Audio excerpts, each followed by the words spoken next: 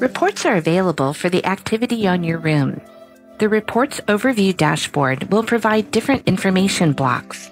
The first block is Tickets by Category that presents the patterns of problems by categorization, which can be drilled down deeper for more information and can be exported. The Health block shows a graph of your room estate as compared to the average health of all other customers to give you a comparative health trend. You also get a view of your five most and least reliable rooms based on the number of incidences generated.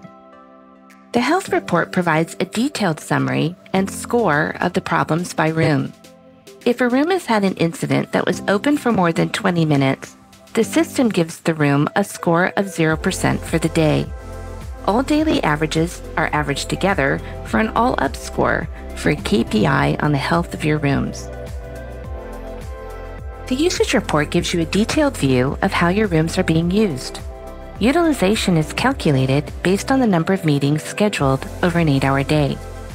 All room calendar percentages are averaged together to provide a top level metric across all of your rooms.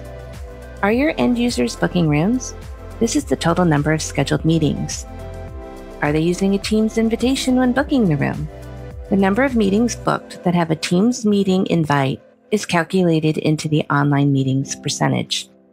How many calls are being made from the MTR? And is the performance of those calls good? These make up the total number of calls and call performance. And there's even a metric for the number of times a Surface Hub is used as a projector or in Miracast.